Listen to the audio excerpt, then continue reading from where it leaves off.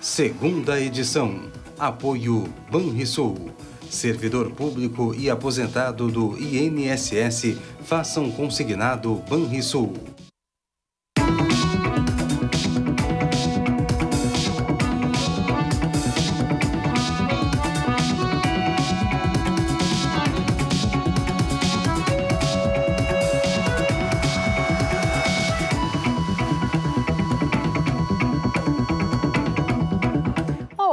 Boa noite. A Prefeitura de Porto Alegre vai apertar o cerco aos contribuintes com dívidas de tributos municipais, com destaque para o Imposto Predial e Territorial Urbano, o IPTU. Mais de 50 mil devedores vão receber notificações para regularizar as pendências. E uh, esse aperto de contas, esse acerto de contas para quem não for pagar, no caso, o município, pode acabar sendo incluído no cadastro de proteção ao crédito. 53 mil contribuintes serão notificados nesta etapa. São 100 milhões de reais que a Prefeitura busca recuperar de um total de 720 milhões de dívida ativa, ou seja, da quantia devida por pessoas físicas e jurídicas ao município. Aqueles que forem selecionados para quitar sua dívida vão receber em casa uma carta com uma proposta de pagamento em até 36 vezes. Mas também é possível vir até a Travessa Mário Cinco Paus, na loja de atendimento da Secretaria da Fazenda, no centro de Porto Alegre, e negociar para dividir o débito em até 72 parcelas. A não adesão é, significa que, num próximo momento, ele poderá ser inscrito em cadastros de proteção ao crédito ou ainda ser protestado em cartório, dependendo do valor, e também, na sequência disso, sofrer uma execução fiscal é, que pode culminar, inclusive, com a penhora do imóvel. Né? Então, é um momento que tem uma oportunidade boa para aquele contribuinte que às vezes nem lembra que tem a dívida, esqueceu. Então, ele vai receber em casa sem ter que se deslocar aqui para saber, ou seja, já vem pronto, ele paga e volta a estar em dia. E... Para este especialista, é importante que o contribuinte acerte as contas com a prefeitura e passe a planejar o pagamento do imposto. Quando chegar em janeiro, que é o mês que tem várias, não só IPTU e PVA, né, também é, tem um desconto significativo, para tu pagar à vista. É a grande sacada do consumidor responsável e consciente. Paga à vista. Não pode mas tu tem capacidade de pagar parcelado, paga. Nunca deixa transformar esse, esse tributo em dívida ativa. Neste ano, 47% do total do IPTU em Porto Alegre já foi pago no período de desconto à vista. A partir de 8 de março, inicia o prazo para quem quer pagar em 10 vezes. E não é só na capital que as dívidas com IPTU se acumulam. Um levantamento do Tribunal de Contas aponta Cachoeira do Sul, na região central, como o município com o maior índice de moradores que não pagam os impostos no estado. São mais de 335 milhões de reais que deixaram de entrar nos cofres do município. E assim como em Porto Alegre, a prefeitura de lá também quer incluir a dívida ativa de tributos municipais no SPC. Os números, que correspondem a dados de 2016, mostram que 138% da receita orçada pela administração municipal não se realizou em decorrência dos maus pagadores. Os vilões em tributos são o Imposto Predial e Territorial Urbano, o IPTU, e o ISS, o Imposto sobre Serviços. Considerando o índice populacional de Cachoeira, é possível afirmar que um em cada três contribuintes não pagou o IPTU. O não pagamento desses tributos, eles acabam não uh, sendo aplicados em saúde, educação e atendimento a outros, a, a obras, interior, né? e demais serviços que a prefeitura presta. Então, o que, que nós estamos fazendo? Como esse valor é significativo, nós estamos buscando de, de várias formas através da cobrança judicial, através dos protestos e através agora do que nós vamos firmar um convênio com o CDL do SPC. O volume de serviços prestados no Rio Grande do Sul diminuiu 1,8% em dezembro na comparação com novembro do ano passado. Já em relação ao mesmo período de 2015, o indicador calculado pelo IBGE despencou 6,2%. A retração acumulada pelo setor em 2016 foi de 5%. As maiores quedas aconteceram nos serviços de transporte e nos serviços prestados às famílias.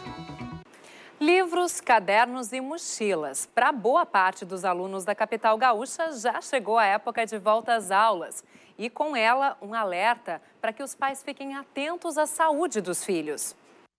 Essa semana iniciam as aulas na maioria das escolas particulares de Porto Alegre. Com a volta à rotina, alguns cuidados com a saúde das crianças e adolescentes devem ser tomados. O Departamento Científico de Saúde Escolar da Sociedade Brasileira de Pediatria divulgou um guia com 10 recomendações para garantir a saúde dos estudantes. Os pais devem prestar atenção a sinais de bullying, monitorar a adaptação aos novos horários, como o de dormir e acordar, por exemplo, providenciar uma alimentação balanceada, observar o peso da mochila elas devem ser organizadas diariamente para evitar que a criança carregue peso desnecessário. Cuidados com a segurança. Atenção a queixas visuais e dores de cabeça. Cartões de vacinação devem estar em dia. Atenção para doenças transmitidas por vetores como dengue, zika e chikungunya.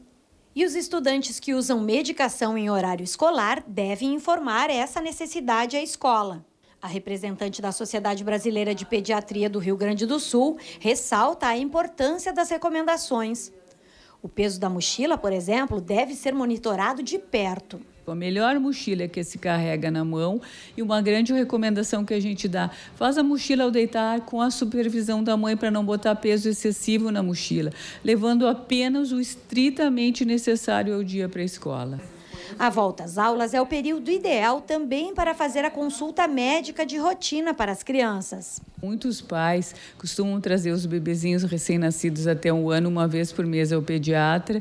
E como as crianças até os três anos ficam mais doentes, eles vêm muito frequente, se esquecendo que o pré-escolar, o escolar, o pré-adolescente ou adolescente também tem que consult continuarem consultando, fazer suas revisões eh, periódicas, como todo mundo faz.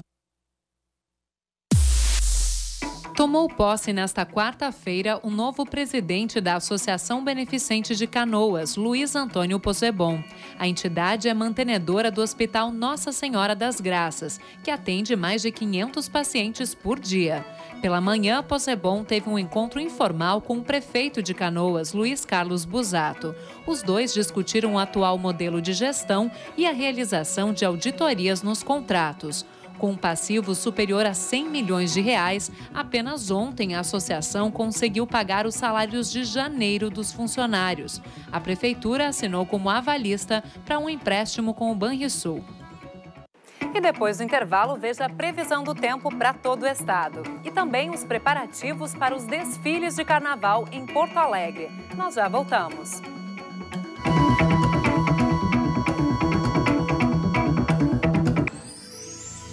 Quinta-feira vai alternar períodos de sol com pancadas de chuva e trovoadas, principalmente à tarde. A chuva deve ser mais intensa na região central e na fronteira com Uruguai e Argentina.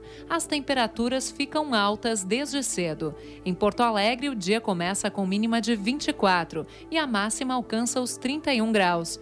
Em São Borja, no noroeste, faz calor de 32.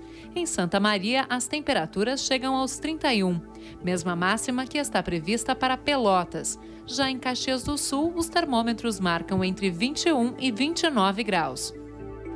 Um debate na TVE deu a largada para a campanha eleitoral de Gravataí. O município terá nova escolha de prefeito no dia 12 de março, porque o vencedor do pleito de outubro teve a candidatura impugnada pela Justiça. Os seis candidatos que disputam a nova eleição tiveram na noite de ontem a oportunidade de apresentar suas ideias e discutir problemas que estão no dia a dia da população de Gravataí. A TVE também abriu espaço para a participação de jornalistas dos veículos de comunicação do município. Eles fizeram perguntas sobre temas determinados. A dinâmica do debate, que durou quase duas horas, foi marcada ainda por dois blocos de perguntas e respostas entre os candidatos. Todos agradeceram o espaço oferecido pela televisão pública do Estado ao debate eleitoral e destacaram a sua importância para a democracia. Faltando pouco mais de um mês para o Carnaval das Escolas de Samba de Porto Alegre, há pouca definição sobre um dos quesitos mais importantes: o dinheiro para financiar a folia. Enquanto a Prefeitura busca o apoio de empresas, os carnavalescos rebolam para tentar garantir os desfiles. Nota 10 em sustentabilidade. Assim vai ser o carnaval desse ano. Não só na, no sistema ecológico, mas dentro, desse, dentro do sistema hoje de economia e fazer um destinar para uma área artística, todo esse lixo aí queria fora. Desde que a prefeitura anunciou o fim do repasse de recursos públicos para o carnaval, as escolas têm se virado nos 30. O executivo se propôs a captar recursos junto a empresas, mas deve anunciar a quantia arrecadada apenas na semana que vem. Para o presidente da Imperadores do Samba, o montante precisa ser satisfatório, já que eles dependem do dinheiro para entrar na avenida e saldar dívidas. Como esse ano não entrou, não se conseguiu sanar quase nada do carnaval passado. Então, a receita talvez seja não fazer mais dívidas.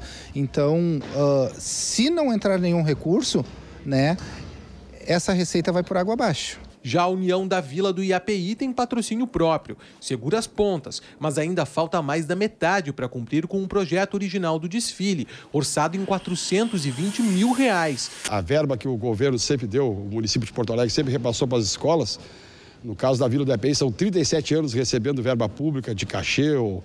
seria muito difícil. É, a gente está um pouco à frente das co-irmãs, mas até porque a gente tem patrocínio e pode investir em mão de obra, né? A Liga Independente das Escolas de Samba de Porto Alegre também busca parceiros para viabilizar o carnaval.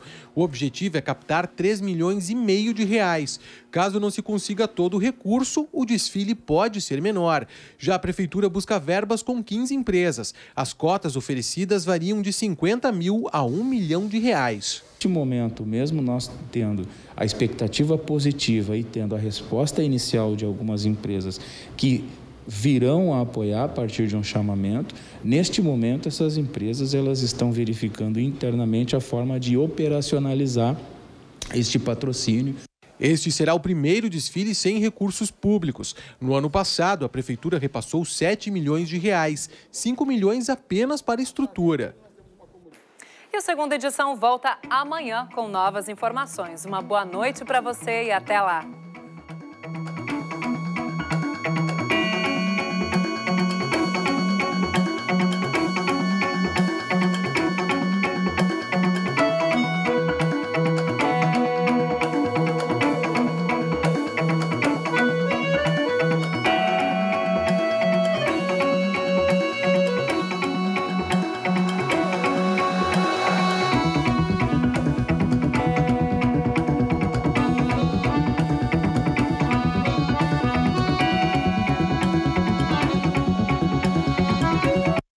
Segunda edição. Apoio Banrisul. Precisando de dinheiro extra? Faça um consignado Banrisul.